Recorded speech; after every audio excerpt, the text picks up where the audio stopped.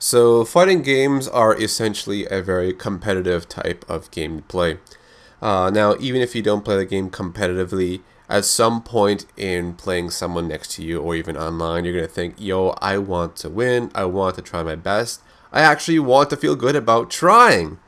So, when it comes to fighting game tournaments, uh, I do see quite a few upsets when it comes to people losing.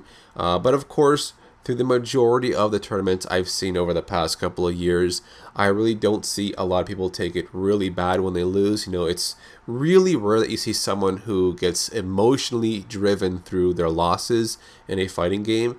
Uh, I think that most of the players out there in the competitive scene of fighting games just kind of move on. You know, they lose, they lose, they shake hands, and it's on to the next match, and that's it. So, for those very few players out there who are emotionally driven by their losses and they take it very seriously, I know it's just words coming from me, but all I can really say is try your best to brush it off and get over it, and eventually you can overcome it over time because some people take these games extremely seriously like they have something to prove to themselves or to their viewers or to someone else out there. I don't really know. Or perhaps they want to do their best to win the most amount of money in these tournaments. So when it comes to fighting games yes losing can take a bigger toll on the person's emotions compared to other games out there that are more team based oriented for example, Call of Duty tournaments and League of Legends, it's normally a group of people playing together. So if you guys lose, it's because maybe a couple mistakes or one or two people messed up or something, you know? It could be a, mix of different factors there. So you kind of share the burden of a loss with your team. But when you lose to someone else in a fighting game, it's a different factor altogether. And that's because it's a one versus one situation. You don't have a team to back you up. No one is going to run support for you. No one is going to back you up in any other way. It's just you and the guy next to you or across from you. And so you got to give it your best, and that's it. And for a very few amount of people out there in the fighting game community, losing against someone else in a fighting game is a big problem and that is because it was just you and the other person. There was no one else helping you, so you tried your best. You tried to practice for many hours. You tried this character you love so much for such a long time. You stuck with the whole format of everything you knew, and in the end, it just wasn't enough. So you wonder, what the fuck happened? Why didn't I win? I practiced so much. I thought I did everything possible. So, getting a loss in a tournament can be very heartbreaking because, yes, there's a lot of money on the line, and of course, your viewers are there to support you.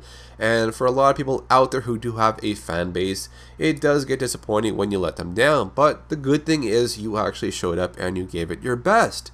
So, getting a loss in a tournament is not always a bad thing. You can actually learn from these things and do better later on. But at the same time, it is really disappointing to see someone who gets emotionally affected by their losses. It's like you're taking the game way too seriously. It's like you're no longer playing the game.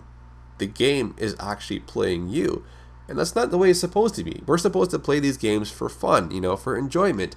And at the same time, in some situations, there is something rewarding about it. So for those of us that are in the tournament scene, of course, there's a big payout. There's some publicity as well, and that's great.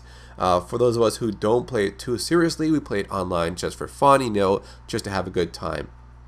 So for those very few people out there who are emotionally affected by their losses in tournaments, over time, you eventually have to learn to get over these losses. No matter how much of a deficit you lose, just let it go. There's no reason to sit there for five or ten minutes and just put yourself down on losing. We all lose eventually, so just put it behind you and move on to the next match. So it's only part of human nature to feel disappointed when we fail at something we are so passionate about, whether it's something financial, something health wise, or something recreational. We just feel let down if we fail at something we love to do. But the good thing is we learn about our mistakes, we overcome them, and we do much better later on. So if you see someone who takes a loss really bad in a fighting game, just tell them you did really well, but next time you will do better because you are a great player. And that is the best thing to say to someone who loses in a fighting game match. So those are my thoughts on people who take losses in fighting games very seriously. So you may not know everything about the person or why they're so upset when they lost. So don't be so quick to judge that person with negativity. So my name is Carlos or AcidGlow. Thanks for watching. Please leave a thumbs up on this video and I will see you guys later.